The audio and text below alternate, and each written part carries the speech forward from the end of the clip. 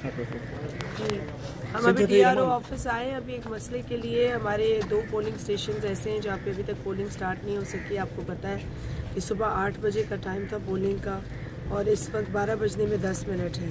और voter list जो थी वो उनको नहीं पहुँच सकी सही वाली। तो सुबह से हमारे लोग वहाँ छः बजे से बैठे हैं लाजमी है। बाराड़ी से लोग आते हैं शहर के बाहर से आते हैं दही इलाकों से आते हैं तो सुबह ले आ, आ जाते हैं लोग।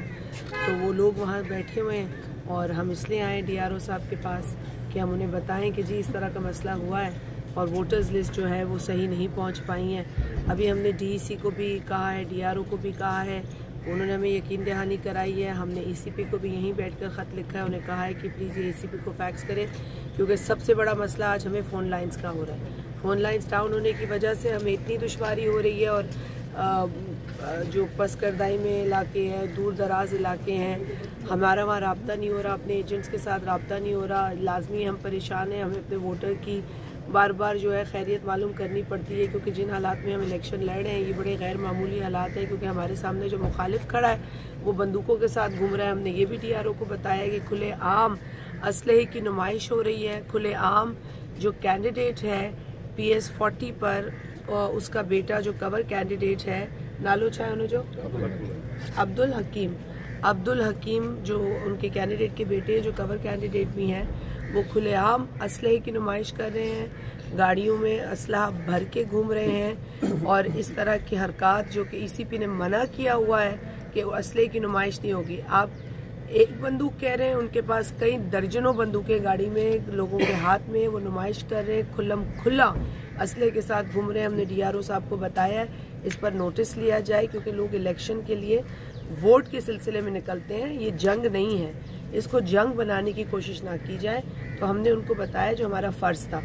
हम कानून को फॉलो करने वाले लोग हैं, कानून का एहतराम करने वाले लोग हैं। ये कैसे मुमकिन है कि कैंडिडेट उसके बेटे असलहे के साथ घूम रहे हैं और पुलिस उस पर कोई एक्शन नहीं ले रही? तो इसलिए हमने डीआरओ को बताया और हम उम्मीद करते हैं, अल्लाह करे कि ये लोग जल्द एक्शन लें। आप क्या समझ रही हैं, सुबह से चार घंटे का जो अमल हुआ है, जो सारी आपने बातें की है, क्या समझ रही हैं कि पीसफुल इलेक्शन देखिए अभी तक फ़ोन लाइंस डाउन है तो मुझे तो ये पता ही नहीं कि लोग कैसे इस वक्त क्या हो रहा है। लेकिन यकीनन पीसफुल होने चाहिए। आ, एक और मुझे खबर आई है आ, हमारे जो पीएस के कैंडिडेट हैं अली हसन साहब उधर से आई है कि एक पोलिंग बूथ है जिसको हमने हसास के लिए कहा था वो हसास तो करार नहीं दी गई। लेकिन जो लेडीज़ पोलिंग बूथ है पोलिंग स्टेशन है उसमें एक ही कमरे में चार बूथ लगा दिए गए। अब ये तो नहीं ये तो गलत बात है ना। कि आप नवाबाद हिंगोरो नवाबाद हिंगोरो के अंदर जो बूथ है स्टेशन है, उसमें चार बूथ एक ही कमरे में लेडीज़ के लगा दिए गए। अब ये किस तरह की नाइंसाफ़ी की जा रही है? तो मैं तो ये कहूँगी कि अगर फ़ोन लाइंस डाउन है, इनको भी दिक्कत हो रही है तो कम अज़ कम आप ग्राउंड पे जाएँ और देखें ये मसाइल हो रहे हैं। अब मुझे ऑल द वे यहाँ पे आना पड़ा और ख़ुद इनको बताना पड़ा कि ये मसले हो रहे हैं। मैंने इलेक्शन कमीशन ऑफ़ पाकिस्तान को ये ख़त लिखा है। और मैं उनको बताया है कि ग्यारह बज के छत्तीस मिनट पर मैं जब ये ख़त लिख के उनको दे रही थी कि ग्यारह बज के छत्तीस मिनट तक हमारी दो पोलिंग स्टेशन एक पेरूमल की एक टंडो मिठा खान की ये स्टार्ट नहीं हो सकी है। तो ये नाइंसाफ़ी है।